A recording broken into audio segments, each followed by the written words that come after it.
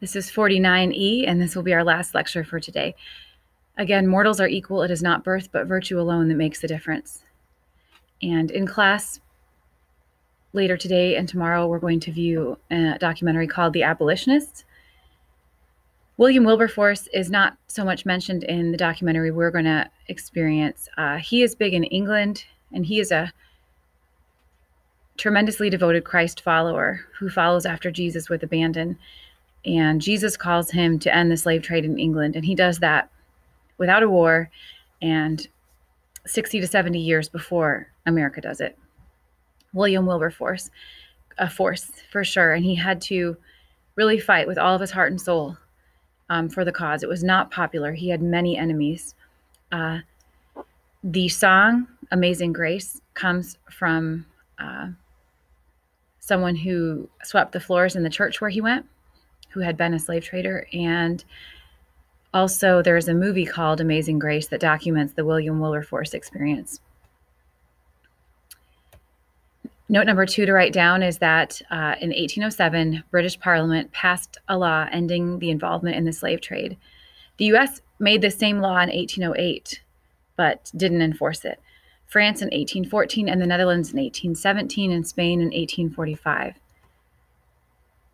And this is William Wilberforce's quote to Congress Let us not despair. It is a blessed cause, and success ere long will crown our exertions.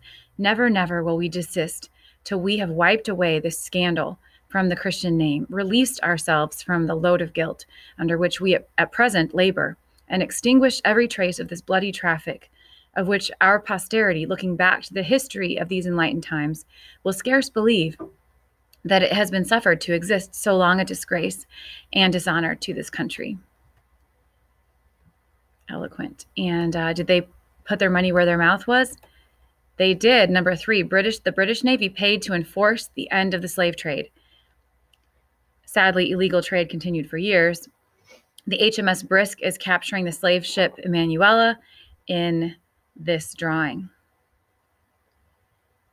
All right it's taking it over and arresting them for illegally, greedily transporting slaves.